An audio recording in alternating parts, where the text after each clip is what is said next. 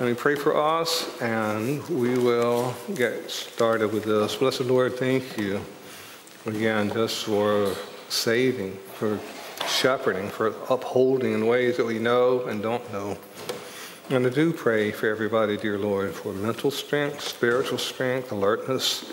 Pray you'll bless your word as it goes forth. I pray that you'll bring about many multiplications of what it is that we're learning, that people will be saved by the testimony that people will use from what we've learned from the Gospel of Mark, and that saints will be edified, the church built up. And pray that you'll bless our time together. We commit this to you. We pray in Jesus' name. Amen. I am in Mark chapter 3, starting at just real, real briefly. Chapter 3, we'll start with verse 7 and work our way down just to note a couple of things. There's others that will go from this. Verse 7 of chapter 3, when Jesus withdrew to the sea with his disciples, that's the Sea of Galilee. Everything, of course, is Galilee focused at this point. That's why when you come to chapter 10 and you got the journey to Jerusalem, it really does change from Galilee, and we'll see some things tomorrow with this, but all this is still is in Galilee. Verse 7 And a great multitude from Galilee followed him, and also from Judea and from Jerusalem. Look at all the places. This is really spreading out because word of him has grown already by chapter 3. When it opens up, it's pretty much the people of Galilee that are coming there. Now it's down to Jerusalem and Judea and from Idumea down beyond the Jordan and the vicinity of Tyre and Sidon. That's Gentile territory. That'd be north of them. A great multitude heard of all that he was doing and came to him. And he told his disciples that a boat should stand ready for him because of the multitude in order that they might not crowd him. Hmm. Again, the very busy Jesus with this. For he had healed many, with the result that all those who had afflictions pressed about him in order to touch him. And whenever the unclean spirits beheld him, they would fall down before him and cry out and say, You are the Son of God. First verse of Mark chapter 1 says the same thing. You are the Son of God. He earnestly warned them not to reveal his identity everything that we see, we're just going to go kind of briefly over that part. Everything that we saw before fits with Matthew chapter 3, verses 7 through 12. Very, very busy Jesus, very crowded Jesus. Even to the point that he has to sit in a boat so that the multitudes don't swarm upon him. He can't stand on the land. There are that many people. And then in verse 13, through 15, we need to note some things. Verse 13, he went up to the mountain and summoned those whom he himself wanted, and they came to him. Now, this would be the parallel passage where we started in Matthew chapter 10. This is where the 12 disciples are going to become the 12 apostles. Now, we don't see it spelled out here the way that we saw it spelled out in Matthew chapter 10. But it is important that he went up to the mountain. They summoned the ones that he himself wanted, and they came to him. If you mark your Bibles, verse 14, this is so fitting.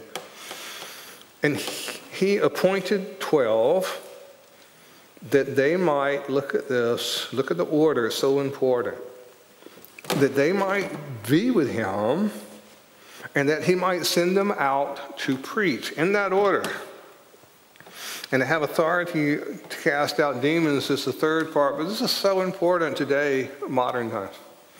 A lot of times at the seminary, I'll have guys that will come and say, I'm, I'm here to preach. And I'll say, You're here to preach what? Well, they say, Well, I'm here to preach sermons. Say, Are you here to preach biblical truth? Oh, yeah, yeah, I'm, in, I'm that. You know, what they're saying a lot of times, and it's not so much at the Master's Seminary as much as some of the other places that I've been Preaching is not an activity just done by itself. You know what Jesus did? He called them to be his disciples and to be discipled by him. Then to go out to preach. They don't go out to preach yet. because he wants them to be with him. Beloved, you leave out that part of the process, then you are you're not going to have a fruitful ministry if you're in a, any kind of speaking ministry per se. Uh, any kind of true ministry, whether it's a speaking ministry or a serving ministry, is only an extension of our walk with the Lord. And you take away any aspect as that relates to our walk with the Lord, and your ministry will be affected in a negative way. He doesn't want them to preach, which they're going to end up preaching. He wants them to be his disciples. When we come to the book of Acts, we see they have grown a whole, whole lot by that time. When we go through the Gospel of Mark, we'll still see them in the process of growing a lot more than, well, when we come to Acts, we'll put it that way. They have grown a whole lot more with us. But this is a real good verse to use if you're discipling someone, because a lot of times people will want to do something, and that's fine. But we just need to make sure that the relationship with Jesus is at the core of that, then the activity, not the activity without the relationship to Jesus. Wonderful verse to mark in your Bible and use. And so they've got the 12 down there. Just for time's sake, we're going to drop down to verses 20 and 21. Verse 20, and he came home. And that would be Capernaum at this place. And the multitude gathered again, look at this, to an extent that they could not even eat a meal. That's how busy that they are. And then in verse 21, if you've ever had people in your family say they don't understand you, verse 21 of chapter 3 of Mark. And when his own people, this would be minus Mary, Joseph has probably died at this time. We don't know what happened to Joseph. He just disappears from the scene. But his own people heard of this they went out to take custody of him, for they are saying he has lost his senses. Now, that would be his brothers, that would be his sisters, that would be his cousins and aunts and uncles. I promise you this Mary is not involved in this group. Mary understands where others can't. And poor James, who wrote the book of James, how would it be to have Jesus as your older brother? And talk about how hard it is to live up to your older brother's standard, that you would have Jesus as an older brother, half brother in a sense, same mom, different dad with this.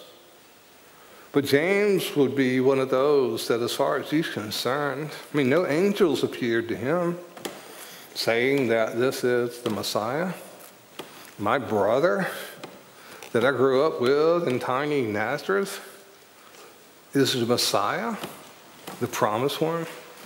And so they had a hard time with this. Again, other than Mary, Mary would be very confident in the sense of who Jesus is and what is taking place.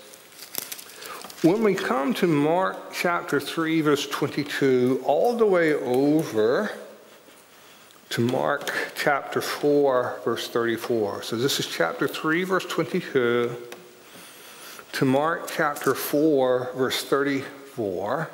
We're going to have to do something that is a little bit different. From Mark chapter 3, verse 22 to chapter 4, verse 34. It's on the inspired outline. This is why it's up here, Mark chapter 4, verse 34. We're going to do something different with this. We're going to have to go to Matthew's gospel, and we're going to get there by way of Daniel chapter 12. So if you want to turn over to Daniel chapter 12, we're going to tie some things together. And the reason that we're doing this is that there is much more information given in Matthew's account, and you'll see why with this. Mark's account is very, very brief. And we're going to go through the Matthew account. I don't know if we'll have time to go through the Mark one, but it's going to be the parallel passage. If we miss this, this would be a good one to read on your own. It won't take you that long to read. But the reason we're doing the part in Daniel and the part in Matthew these are the same passages. Jesus gives so much more information, and we'll see this in Matthew's account. Now we're starting in Daniel chapter 12, just very, very briefly. Chapter 12, verse 1 Now at that time, Michael, the great prince who guards over the sons of your people, will arise. And there'll be a time of distress such as never occurred since there was a nation until that time. And at that time, your people, everyone who's found written in the book, will be rescued. This is talking about the Jewish people, and this is talking about the coming tribulation.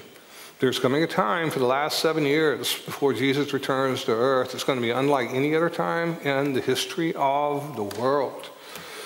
If we had time to go through this, we go through Matthew 24 and 25, where Jesus goes into a great amount of detail. He says in verse 2 Many of those who sleep in the dust of the ground will awake, these to everlasting life, others to disgrace and everlasting contempt. Two options and two options only. It's either heaven or it's either hell. There's no middle ground with this, no third opportunity. And the reason we're doing this, if you will, drop down to the last verse in the book of Daniel. Now, we have left out a lot out of the book of Daniel um, for obvious reasons, but here is what we want to get to. Verse 13 of Daniel. But as for you, go your way to the end, then you will enter into your rest and rise again for your allotted portion. Now, there's a phrase, this is the first time that this is used in the Bible. At the end of the age. This is the first time that the end of the age is used. There are five times in Scripture that the end of the age is used. We're going to see that as we go through Matthew's Gospel, but this is the first one. And this is a good verse to use about the Old Testament resurrection and reward for Old Testament people. It's not just Daniel who is going to be raised from the dead when the Lord returns and have your allotted portion. It's all of the people saved in the Old Testament. It's all of the Jews in this particular context. So, Daniel, don't worry about what's going to happen now. You're going to end up going to the grave. You're an older man at this point. You're going to enter into your rest. You're going to rise again, resurrection. And you're going to have the allotted portion given to you. And this is going to be at the end of the age. Now, that being said, let's fast forward over to Matthew chapter 3. Just going to note some things and move on with this. Matthew chapter 3, John the Baptist appears. We have seen this already chapter 3, verses 1 through 3. Now, in those days, John the Baptist came preaching in the wilderness of Judea, saying, Repent, for the kingdom of heaven is at hand.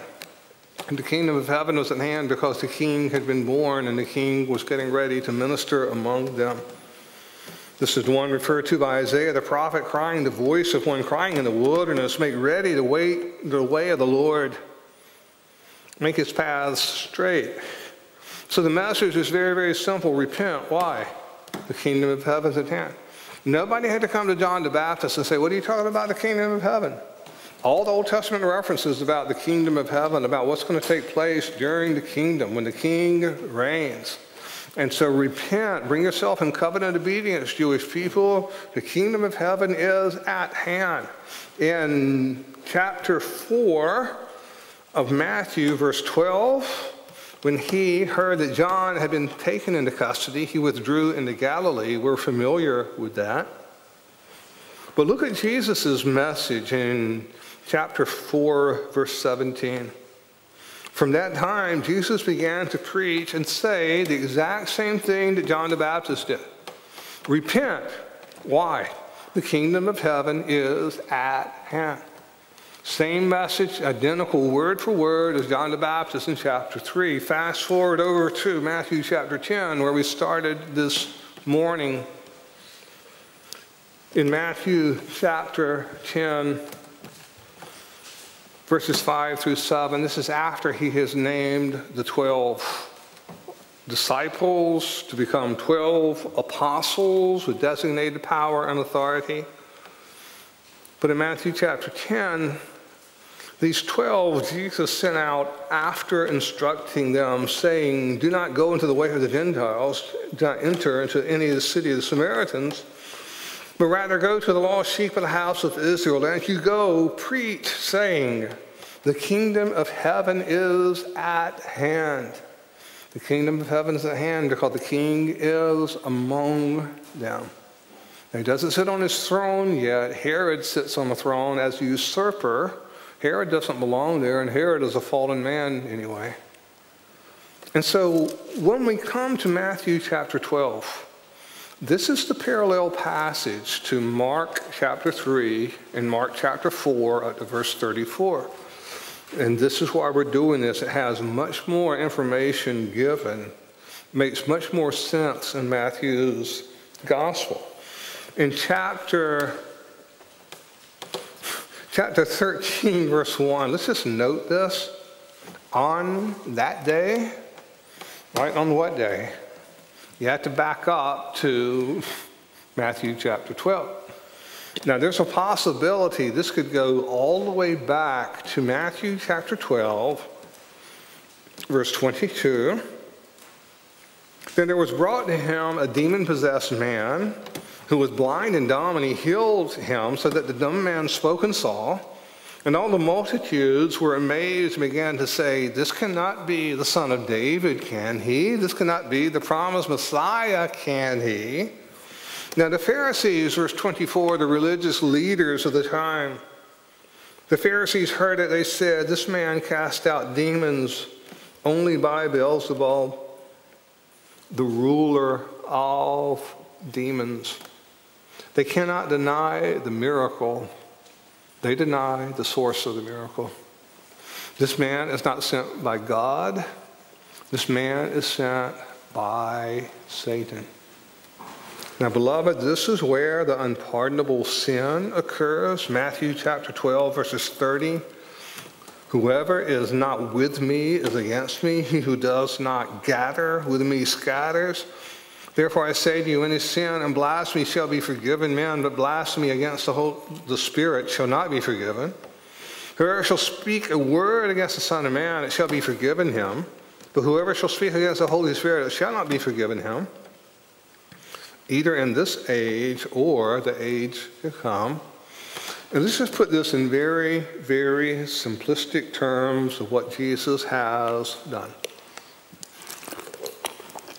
He has shown himself with many proofs to be the promised Messiah. He has spoken as one having authority. He has cast out demons. He has quieted the storm. He has healed. He has raised the dead, even the religious leaders, the, the miracles are, are of such a degree that he can, they cannot deny the miracles. They say, the religious leaders, he is of Satan, he is not of God. Now, it is this time that Jesus comes, on that day, could come with this. Now he is going to do something that he hasn't done before. After Matthew chapter 12, in the very simplest terms, the kingdom is still going to come. It is just not going to come, operative word, yet. The message is going to change in Matthew 13, the method is going to change. No longer are they going to say the kingdom of heaven is at hand. And no longer is Jesus going to speak as he does on the Sermon on the Mount. Now he is going to speak to them in parables. On that day, Jesus went out of the house and was sitting by the sea, and great multitudes gathered about him, so that he got into a boat and sat down, and the whole multitude was standing on the beach. And look at what it says. He spoke many things to them in parables. Behold, the sower went out to sow, and as he sowed some seeds, fell beside the road, and the birds came and devoured them. Others fell upon the rocky places where they did not have much soil, and immediately they sprang up because they had no depth of soil. But when the sun had risen, they were scorched, and because they had no root, they withered away. Others fell among the thorns, and the thorns came up and choked them out, and others fell on the good soil and yielded a crop. Some a hundredfold, some sixty, some thirty. And then he said, He who has ears to hear, let him hear. And look what takes place in Matthew 13, verse 10. The disciples came to him and said to him, Why do you speak to them in parables? We've been with you about eh, two and a half years, give or take, somewhere in that neighborhood. You've never done this before. Why are you speaking to them in parables? Here's the answer that Jesus gives. Verse 11 He answered and said to them, To you it has been granted to know, look at this, the mysteries of the kingdom of heaven. But to them it has not been granted. So the parables are going to give an explanation of the mysteries of the kingdom of heaven. So instead of saying, repent for the kingdom of heaven is at hand, now Jesus is going to tell in the parables what is going to happen from that point until, and we'll see, actually to his return. In verse 12, for whoever has, to him shall more be given and he shall have an abundance, but whoever does not have, even what he has, shall be taken away from him. This has absolutely nothing, N U T T I N, nothing to do with money. This has to do in Matthew chapter 13, verse 12, with biblical truth. What a promise. And if you mark your Bibles, that's a great verse to mark. To the extent you receive God's truth, act on God's truth as best you can. You have God's promise that He'll give you more truth and more truth and more truth as you walk with Him. Later on, Peter will write, Grow in the grace and knowledge of our Lord and Savior Jesus Christ. Grace is from the inside out, knowledge part is played with that. What a wonderful promise. But he is talking especially about the leaders of the nation of Israel who says that he is of Satan, not of God. The little bit of biblical information that they have is going to be taken from them. So parables are going to be used to either reveal information or to conceal information. It all depends on the relationship that the person has to Jesus. If they are walking with Jesus, such as the apostles are, then they are going to receive more information and more information and more information. But if you do not believe God's word, whether you're the religious leaders here or you bring it up to the modern day world, it's a dangerous thing to reject the Word of God. Whether you're a person or a couple or a church or a denomination or a country or a society, it's a dangerous thing to reject the Word of God. And so, therefore, I speak to them in parables, verse 13, because while seeing they do not see, while hearing they do not hear, nor do they understand. In this case, the prophecy of Isaiah is being fulfilled, and he's going to quote out of the last part of Isaiah 6. Isaiah 6 is one of the great missionary send off passages. Has, Whom shall I send? Here I am, send me. Sounds good. When you go to Isaiah 6, Steve Lawson mentioned this yesterday. Isaiah 6, I saw the Lord high and exalted, lifted up and uh, Isaiah says, Woe is me, I'm, I'm, a man of, I'm ruined, I'm a man of unclean lips, and the people are in the midst of unclean lips.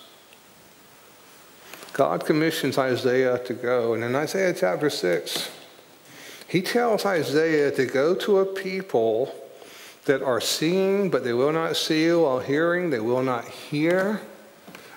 And God says, even, I have hardened their heart. Now, the people of Isaiah's time, let's put it this way God had given his word to the nation of Israel. The people had rejected God's word. God sends Isaiah and tells them, yeah, this is modern society. You're not going to have a megachurch. You're not going to write books. And you're not going to do conferences. Isaiah, nobody's going to listen to you because God has hardened their heart. And the reason God has hardened their heart is because the people has turned away from God's word. There was a remnant that God kept. He always keeps a remnant. There was a remnant that God kept. But the majority of the people of Isaiah's time did not receive Isaiah's message. As far as we know, and this is kind of in, we would say church history, but this is Old Testament. According to Jewish tradition, Isaiah was sawn in half by one of the kings. That's how his message was received. And what Jesus does is take the Isaiah 6 passage and move it up to the present time. the people, the religious leaders, have rejected the Word of God. They've rejected the written Word of God. They've rejected the incarnate Word of God. While seeing, they do not see. While hearing, they do not hear. The eyes of this people have become glazed over. I have hardened their hearts. Look at the difference with this. In verse 16, but blessed are your eyes, 12 disciples, because they see, and your ears, because they hear, and put me down in this category of verse 17. For truly I say to you that many prophets and righteous men desired to see what you see and did not see it, such as Daniel, and to hear what you hear and did not hear it. I can't wait to find out all the things that Jesus did. I can't wait to find out all the things that he said.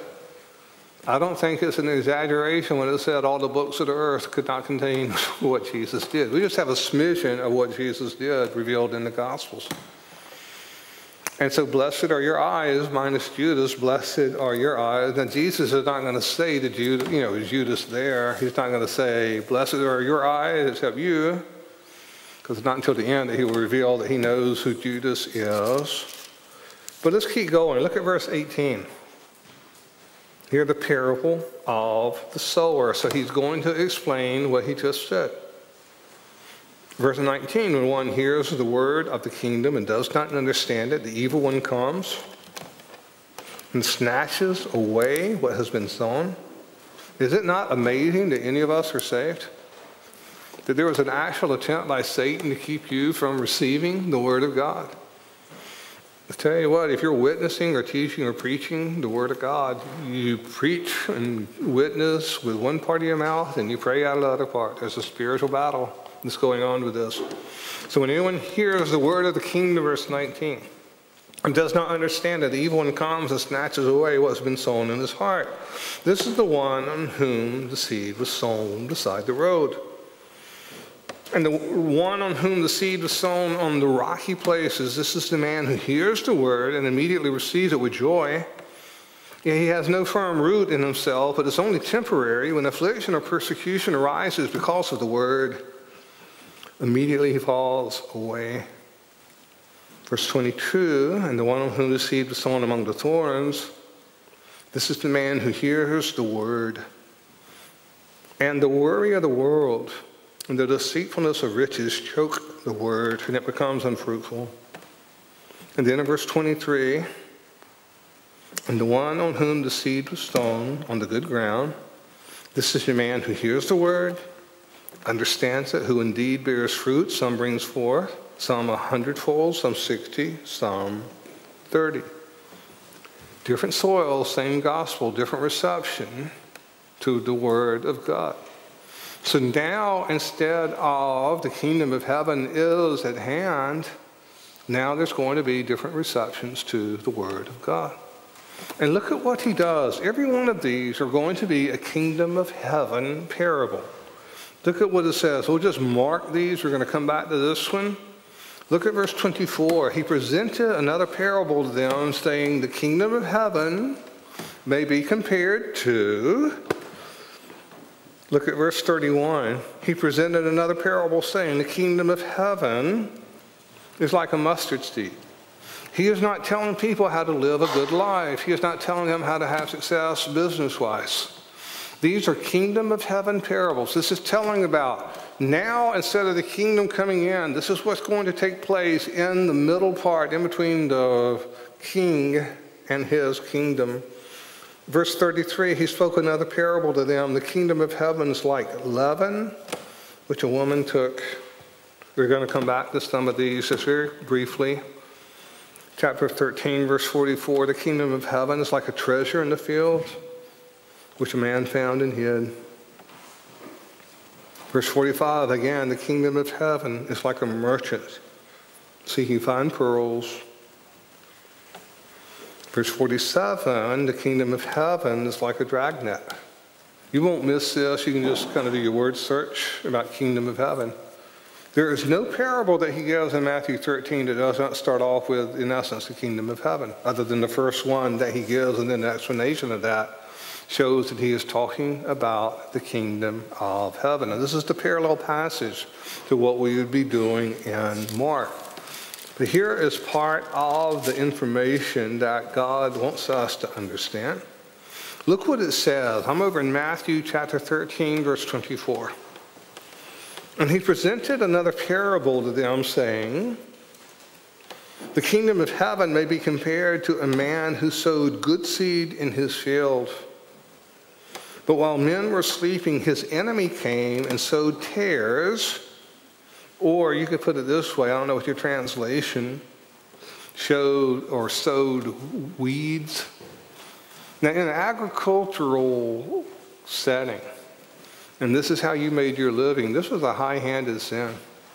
That you would go to your enemy's fields and you would purposely take weeds and sow it among the crop.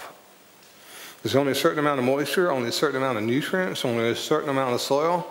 You purposely do this to rob. I mean, this, this would be this would be a big crime in that setting, and this would be something they, they would kill somebody over this. If someone had purposely sowed weeds among the wheat and went away, verse 26, when the wheat sprang up and bore grain, then the tares or the weeds became evident also. It's fascinating. I'm sure a botanist could understand this. In the springtime, when the grass and the wheat come up, or the weeds and the wheat come up, when you're standing there side by side, you can't tell the difference. Now, when they start out, you just can't tell the difference from a visual standpoint. I'm sure under the microscope, yes, you can. I was out walking and praying at a place in North Carolina. We were actually visiting Betsy's grandmother while she was still living. And I'm out walking and praying, and I saw a sign in somebody's garden that said, A weed is just an unloved flower. Now, beloved, this is some kind of ex hippie type stuff that a weed is just an unloved flower. Really. And I'm, I'm standing talking out loud to this thing, and I don't know if anybody saw me inside with it. You know, a weed is a weed because it's part of the curse of Genesis chapter 3. How would you like to take that weed, poison ivy or poison oak? Y'all don't have that over here, do you? Y'all have poison ivy, poison oak? You take that to your bosom, and you will not rise. You won't say a weed is just an unloved flower. Clothe yourself with that stuff and see what you say. I mean, a weed is a weed because that's what it is. And there's nothing that changes from this. A weed is a weed from the germ all the way, all the way up. And so the again, two categories, two categories. The wheat's the good stuff and the weeds the bad stuff. And what happens with this Verse 26, and when the wheat sprang up and bore grain, then the weeds or the tares became evident also. And the slaves of the landowner said to him, Sir, did you not sow good seed in your field? How then does it have tares or weeds? And he said to them, An enemy has done this. And the slaves said to him, Do you want us then to go and gather them up? But he says, No, lest while you are gathering up tares or weeds, you may root up the wheat with them. Allow them both to grow until the harvest. And in the time of the harvest, I will say to the reapers, First gather up the tares or the weeds and bind them in bundles to burn them up. But gather the wheat into my barns. Now, beloved, look at this, verse 34. All these things Jesus spoke to the multitudes in parables and was not talking to them without a parable. But look at, we're dropping down to verse 36 and following. Then he left the multitudes and went into the house. And his disciples came to him and said, Explain to us the parable of the tares or the weeds of the field. Now they asked for the explanation. This is one that is given in Scripture. And look at what it says. This is so important in understanding the gospel gospel story, whether it's Matthew, Mark, Luke, or John. So here is Jesus' explanation, verse 37. He answered and said to them, The one who sows the good seed is the Son of Man, and the field is the world, And as for the good seed, these are the sons of the kingdom, and the tares are the weeds, the sons of the evil one. Sometimes sons talk about the male part. Sometimes sons is just a covering word for male and female. This would be one that's male and female. This is not limited just to men. And so the tares are the sons of the evil one. Look at verse 39 if you mark your Bible. And the enemy who sowed them is the devil. And look at this. The harvest is the end of the age. This is the second time that the end of the age is used. The first time was Daniel chapter 12, verse 13. Go your, go your peace, Daniel. Go rest. You're going to be wakened, rise to receive your portion at the end of the age. Now, what Jesus is doing now is totally different than what the earlier message was from John the Baptist and what the earlier message was from Jesus, what the earlier message was from the 12. Now, instead of saying the kingdom of heaven is at hand, well, beloved, sometime on your own in Acts chapter 2, verses 22 and 23, Peter says, This is the predetermined plan and the foreknowledge of God. It's not predetermined plans, it's predetermined plans singular, Acts 2, 22 and 23. This is not a surprise for Jesus. This is not a oops. This is not what are we going to do now. He came into his own, and his own received him not. He understood that was going to take place. He's still king, but now he is talking about end of the age stuff. Now he's talking about Daniel 12 stuff. He wasn't talking about that before. And so when he returns, the age is going to end. That's the second use of this in verse 39 the harvest is the end of the age, and the reapers are the angels. Therefore, just as the tares are gathered up and burned with fire, so it shall be third time at the end of the age. The Son of Man will send forth his angels, and they will gather out of his kingdom all stumbling blocks and those who commit lawlessness, and will cast them into the furnace of fire. And in that place there will be weeping and gnashing of teeth. He's making reference to hell with this. Then the righteous will shine forth. Your Bible have little Old Testament quotations, right, with this in block letters. Does your Bible have that? Just for the record, when Jesus quotes in Matthew chapter 13, verse 34, when he says, Then the righteous will shine forth as the sun he takes that from Daniel chapter 12, verse 3. He wants us to make sure that Daniel chapter 12 plays an important part in the, in the theology. This is not explained as much in the Gospel of Mark. Beloved, one more just real, real quickly. Fourth time that the end of the age is used. In verse 47, it says again, the, uh, the kingdom of heaven is like a dragnet cast into the sea and gathering fish of every kind. And when they had filled it, they drew it up on the beach, and they sat down, they gathered the good fish into containers, but the bad fish they threw away. Here's the fourth time. So it will be at the end of the age. Everything about Matthew, the message has changed, the method has changed. No longer is he talking about the kingdom of heavens at hand. Now he's talking about the end of the age. And at the end of the age, the angels are going to be sent out to separate the righteous from the unrighteous. And two categories only the good and the bad, the wheat and the weeds, and even in the dragnet. And so you have five times in the Bible that the end of the age is used. One is in Daniel, four are in Matthew. And we've seen three in Matthew, and I bet you will never again look at this the same way.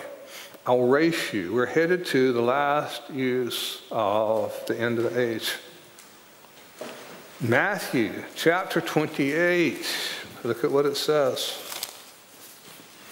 Matthew chapter 28, last verse of Matthew's gospel.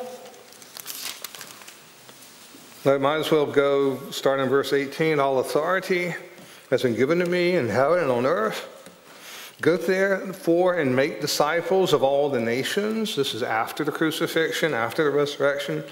Baptizing them in the names, singular, not names, of the Father and the Son and the Holy Spirit, teaching them to observe all that I command you. And lo, or behold, I am with you always, even to, fifth time, the end of the age. You have read over the end of the age so many times, but probably didn't mark the significance. This is so significant. He, when he comes back, this is not just a king that is coming to reign, this is God who's coming to judge. He's going to judge the unrighteous, and he's going to judge the righteous at a good sense and reward that. Now, beloved, it's with this that we go over, and I want you to notice the difference in Mark's gospel. We're over to chapter.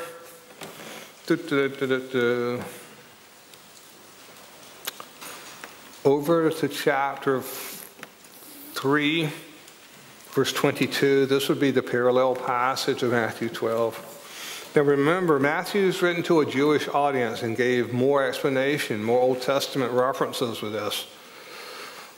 This written to the Gentile audience is going to be briefer. You've got the scribes coming down from Jerusalem saying he was possessed by Beelzebub. He cast out demons by the rulers of demons. That's what we saw in Matthew chapter 12. Look what takes place. We have just four parables in chapter 4, he began to teach them by the seashore. And such a great multitude gathered before him that they got into a boat in the sea and sat down, and all the multitude by the seashore of the land.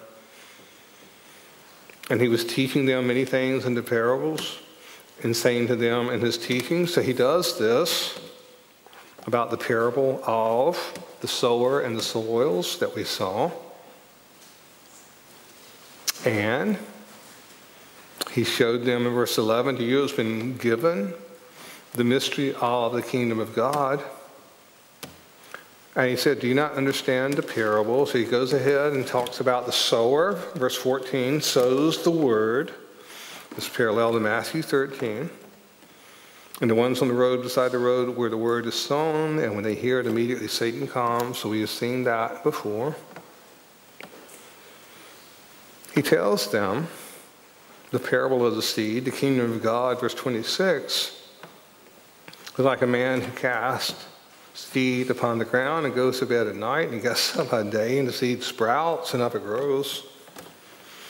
How he himself does not know. The earth produces crops and on it goes with this. Verse 30 How shall we picture the kingdom of God or by what parable shall we present it? It's like a mustard seed which, even sown on the ground, though it's smaller than all the seeds that are upon the ground, yet when it's sown, grows up and becomes larger than all the garden plants and forms larger branches, so that the birds of the air can take rest in it. And look at verses 33 and 34. And with many such parables, we don't have all the ones that he gave. and many such parables, he was speaking the word to them. But look at this real important part, last part of verse 33. He was speaking the word to them as they were able to hear it. Not everybody is on the same spiritual level, not everybody is on the same spiritual receptivity. So Jesus was speaking the word of God to them. Verse 34 And he was not speaking to them without parables, but it also says he was explaining everything to his own disciples privately. Now, the reason that we went to Matthew 12 and Matthew 13, there is nothing in Mark's gospel about the end of the age. And it plays a very, very important part in understanding the kingdom parables. He's still king and he's still going to reign. Only now we live in the midst of this mystery. From the king who has ascended to the right hand of the Father, and we are waiting his return. Now, when you come to the New Testament, you're going to find the church is a mystery. And Ephesians Ephesians 3 would be a good place to go. Colossians 1 would be a good place to go. The church is a mystery. There's no Old Testament prophecies about this. And so we are this kind of little parenthesis, starting in Acts chapter 2, continuing up to the day, continuing whenever the rapture takes place, and I hope it's soon. May very well be soon. After the rapture is going to come Daniel 12, where it talks about a time unlike any other time in history all of this is tied in with the return of the Lord Jesus Christ. So everything from this point onward, from Matthew 12 slash 13, Mark chapter 3 slash verse 4, everything is different now. Now, he is still king and he's coming back, but he has been rejected by the religious authorities. This would not be the final rejection that they have of him. But he has been presented to the nation. He has been testified to by God with signs and wonders. He has spoke the word of God to them. Some have received, many have not. The religious leaders, when they say, You are of Satan, the game changes. Now, again, in Acts chapter 2, we understand it's the predetermined plan and the foreknowledge of God. This is not whoops. Grab your concordance sometime and look up God and uh oh, or God and whoops, or look up God and what are we going to do now? And see how many hits that you have coming up. Not going to have it. Now, we understand, we live this side of the cross. We know that he's going to be rejected. We know that he's going to be crucified. We know that he is going to be resurrected. They don't know that yet. Kingdom Message has changed. Kingdom's still going to come, just not now. Kingdom's going to come, not now, at the end of the age. Daniel, you will arise for your allotted portion. And so the wheat and the tares will be separated, not now, not during the church age. The wheat and the tares will be separated at the Lord's return. We make progress? I hope. This is a little bit deeper. I hope this made sense. I know we had to do this somewhat on the run. It is God in control. As sad as it is to read Matthew 12 and 13, there is still a part. Even so, come Lord Jesus. Let's take one quick peek, one verse, and we will turn you over to your prayer partner. One verse, this is where we start tomorrow, verse 35 of chapter 4. On that day, when the evening had come, he said to them, Let us go over to the other side. We're going to come back there. That's where we're going to start for those who will be here tomorrow. But he is actually going to do something away from Galilee. We'll have to put some new part on our on our inspired outline uh, on the board. We'll have to add a new part. All right, beloved, I hope this made sense. Let's do this. Why don't you get with your prayer partners about five minutes? Talk about what we have learned out of today's session or even today's sessions, and then we'll come back in about five minutes and I will turn it over to Ross